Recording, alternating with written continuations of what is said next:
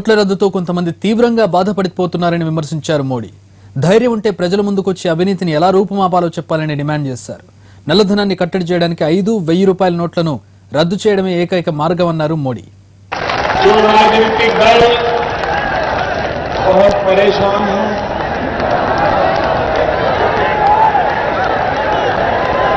उनको चिंता सता रही है अब करे क्या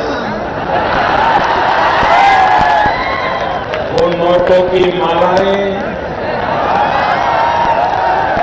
ऐसी ऐसी मालाएँ लगती थी। मुंडी भी दिखती नहीं थी।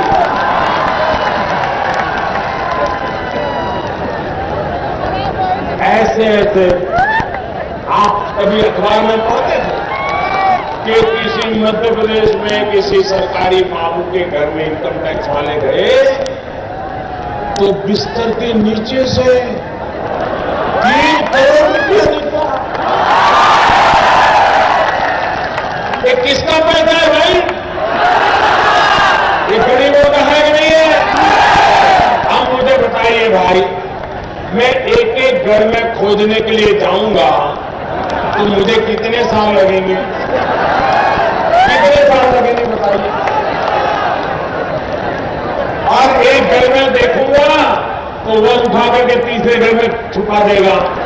तीसरे में करूँगा तो पहले में छुपा देगा। करेगा कि नहीं करेगा?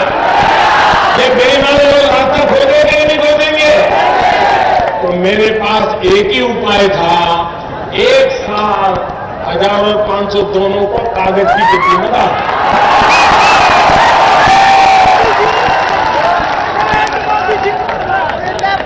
मुझे बताइए इसका प्रभाव तो हो गए गरीब गरीब सब समान हो गए, नहीं हो गए। कुछ लोगों को तकलीफ़ हो रही है जो सामान्य ईमानदार नागरिक को है उसको जो मुसीबत हो रही है तकलीफ़ हो रही उसकी मुझे भरपूर पीड़ा है मेरे भाइयों बहुत पीड़ा है। मैं रात रात जग करके आपकी तकलीफ़ कम हो इसके लिए जितना भी मेरे से हो सकता है मैं कर रहा हूँ, करता रहूँगा। लेकिन कुछ लोगों को तो जरा ज़्यादा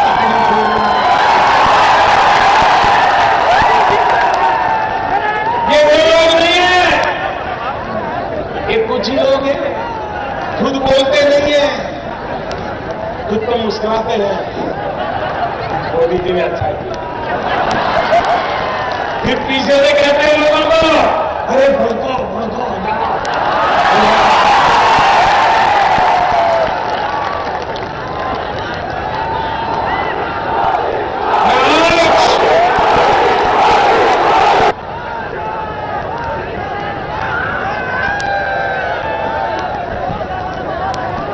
कहीं मत हो तो पब्लिक ही बताओ कि पाँच सौ हज़ार का नोट चलना चाहिए भ्रष्टाचार चलना चाहिए काला धन चलना चाहिए बेईमानी चलनी